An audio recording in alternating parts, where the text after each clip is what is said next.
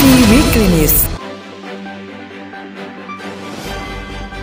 Halo sahabat Pus Penerbal, Klien Happy Weekly News kembali hadir menyapa Anda dengan berbagai informasi teraktual seputar kegiatan insan penerbangan TNI Angkatan Laut yang kami rangkum dalam Klien Happy Highlight dan Lintas Lanudal. Bersama saya, KLD LPU Muhammad Handi Putra Utama. Berikut informasi selengkapnya. Fly Happy Highlight Guna mempertahankan dan memperpanjang usia pangkat senjata, prajurit Wing Udara 3 Puspanerbal Biak menggelar pemeliharaan rutin senapan mesin otomatis M134 Gatling yang digelar di gudang senjata Mako Wing Udara 3 Puspanerbal Biak pada Jumat 8 Desember lalu. Komandan Wing Udara 3 Puspanerbal, Kolonel Laut Pelaut Adam Firmansyah, beserta personil Wing Udara 3 yang telah mengikuti pelatihan sekaligus pengawak Gatling yang terpasang di helikopter Bell 412 EP HU 4 207 mengikuti proses pemeliharaan senjata yang terpasang saat melaksanakan Satgas Cendrawasi. Wing Udara 1 Puspanerbal menjadi tuan rumah ajang lomba panahan tingkat nasional bertajuk Tanjung Pinang Open Archery Competition tahun 2023 yang diikuti 133 peserta dari Archery Club se-Indonesia yang digelar di lapangan Mako Wing Udara 1 Puspanerbal Tanjung Pinang pada Minggu 10 Desember lalu. Direnbang Puspanerbal Kolonel Laut Laut Muhammad Tohir selaku Kepala Yanus Panahan Puspanerbal mengikuti perlombaan divisi Berbo Open 50 meter beserta tim archery klub Puspanerbal dan jajaran. Komandan Wing Udara 1 Kolonel Laut Dani Agni Sundani secara langsung mendukung dan memberi semangat kepada atlet Raja Wali Perkasa agar memberikan kemampuan maksimal dan terbaik. Komandan Wing Udara 3 Kolonel Pelaut Adam Firmansyah menghadiri upacara pengantaran tugas Satgas Pamtas Republik Indonesia Papua Nugini ke wilayah Yonif AVT di lapangan Kompi Senapan C Yonif 753 AVT Biak Papua pada Minggu 10 Desember lalu. Sebanyak 450 personel dari Satuan Yonif 753 AVT diberangkatkan ke perbatasan-perbatasan Republik Indonesia Papua Nugini dalam rangka Tour of Duty dan Tour of Area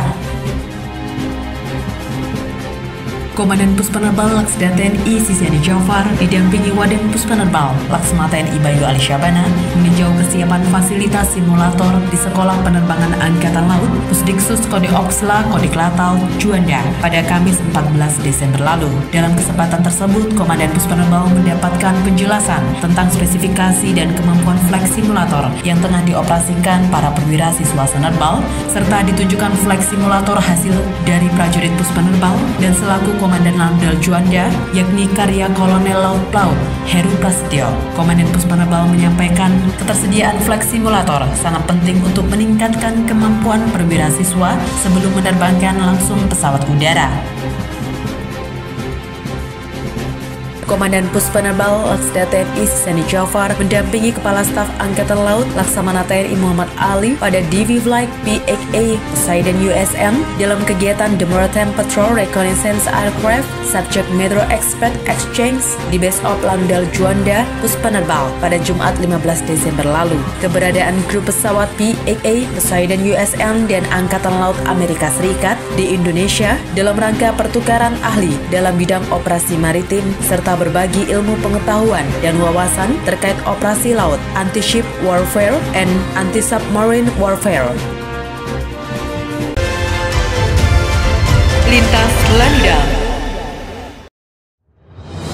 guna mengukur, menguji kemampuan dalam meningkatkan profesionalisme personil, lalu dalam mata pos penerbal, melaksanakan latihan search and rescue dalam menjadi tugas tempur P1 dan P2 TW4 tahun 2023 di Pelabuhan PT PAN, Desa Matak Kecil, Kabupaten Anambas, Pulau Matak pada Selasa 12 Desember lalu. Kegiatan tersebut dipimpin langsung Komandan Lanudal Matak Mayor Laut Teknik Genggong Wahyu Pribadi dan menyampaikan bahwa pelaksanaan latihan SAR dengan materi antara lain penguasaan kemampuan renang militer di laut dan membolak-balikan perahu karet untuk menghindari jangkauan dari musuh serta diikuti pelatihan pertolongan pertama bagi masyarakat yang hanyut terbawa arus laut. Selasa 12 Desember lalu, dalam rangka memperingati dan memeriahkan Hari Ibu ke-95 tahun 2023, Laudel Sabang menggelar lomba bola voli yang berlangsung di lapangan voli Mampu Laudel Sabang yang terdiri dari tujuh tim gabungan personil militer dan Ibu Jalas Nasri cabang 8 Sabang.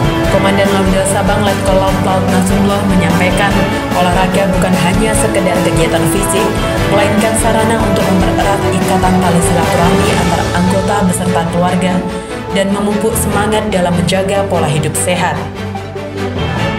pada peringatan Hari Nusantara yang digelar di Tidore pada 13 Desember lalu, Lanudal Manado mendukung serta mempersiapkan unsur-unsur dari Wing Udara 2 Puspenerbal, yaitu pesawat udara CN-235, Kasa NC-212, dan dua helipenter. Letkol Laut Pelaut Tatang Januari Stanto selaku Kabit Udara Satgas Hari Nusantara tahun 2023 menyampaikan unsur udara bertugas membawa penerjun pasukan khusus TNI Angkatan Laut di Ternate dan Tidore, penerbangan VIP, demo udara di KRI, serta dukungan evakuasi medis udara bagi personil Kopaska.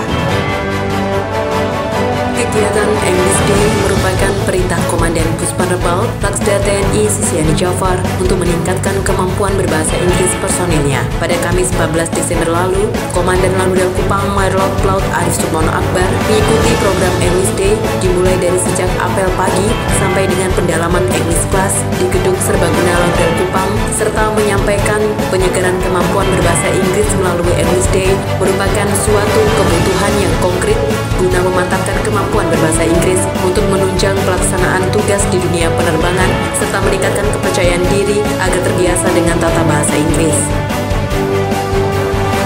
Dalam rangka pengamanan Bandara Internasional Juanda pada libur Natal dan Tahun Baru 2024, Satgas Pam Bandara Juanda menggelar koordinasi kesiapan di Mako Langgel Juanda, dipimpin dan Satgas Pam Bandara Juanda, Mayor Lot Plaut Febrianto Adinugroho, pada Kamis 14 Desember lalu. Komandan Laundel Juanda Kolonel Laut Pelaut Heru Prasetyo menyampaikan koordinasi merupakan wujud kesiapan dalam segala aspek guna menjaga ketertiban, kondusivitas, serta keamanan penerbangan di Bandara Internasional Juanda sehingga perlunya pelayanan dan pengamanan yang optimal dalam menjaga dari upaya-upaya mitigasi potensi gangguan ketertiban dan keamanan.